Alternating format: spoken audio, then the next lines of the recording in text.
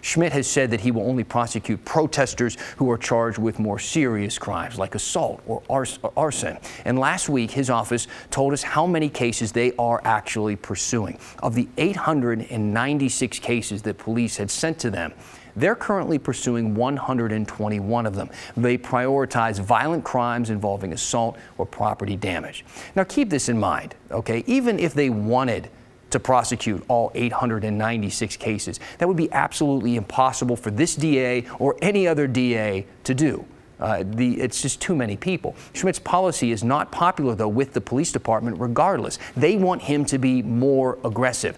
And that tension led to an extraordinarily intense meeting between Schmidt and the Portland Police Union President Daryl Turner earlier this month. Now, last week, during my interview with Schmidt, I asked him about what was said. How, what happened in that situation?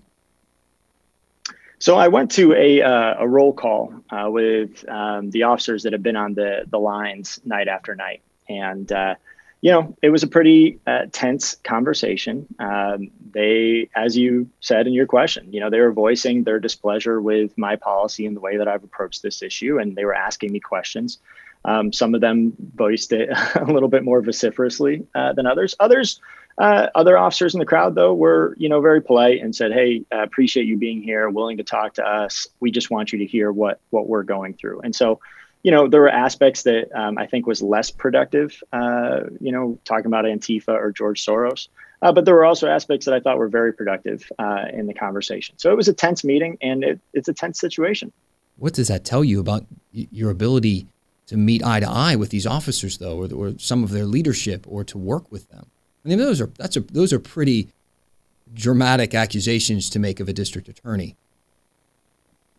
Yeah, eh, that's true. Uh, but you know, like I said, I think that we are in a moment that is dramatic, uh, and where change is happening, and change is always hard. Uh, and so, you know, this is a, a tough place uh, for me to start. Uh, no doubt about that. I think everybody knew going in that this was not going to be an easy uh, or enviable job to be taken over on August first.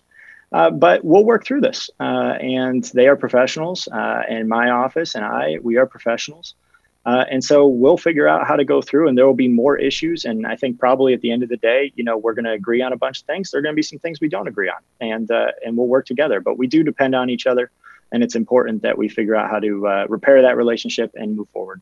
Well, one of the most troubling parts about it is that later on in the article, it says that Daryl Turner denied saying that. So you have our district attorney and a law enforcement leader, and we have to accept the fact that one of them is lying to us. And that makes me feel uneasy. Makes me feel uneasy too, Dan. Uh, you know, uh, I stand by my statement. Uh, and like I said, it was a tense meeting, and uh, tempers uh, could get were a little bit hot, and so things were said that maybe weren't intended to be said. Uh, and uh, and we're just looking forward and moving on and, and trying to figure out, you know, how do we get onto the next issues and, and work together. Schmidt and I talked for about a half an hour. The entire interview is up right now on the KGW YouTube channel. You can watch the whole thing if you'd like. And the reviews are already rolling in. Wendy Childs was happy with how I pressed him on his policy last week. Hey, Dan, thank you for asking him these questions. Finally, you're asking what most of us have been wondering.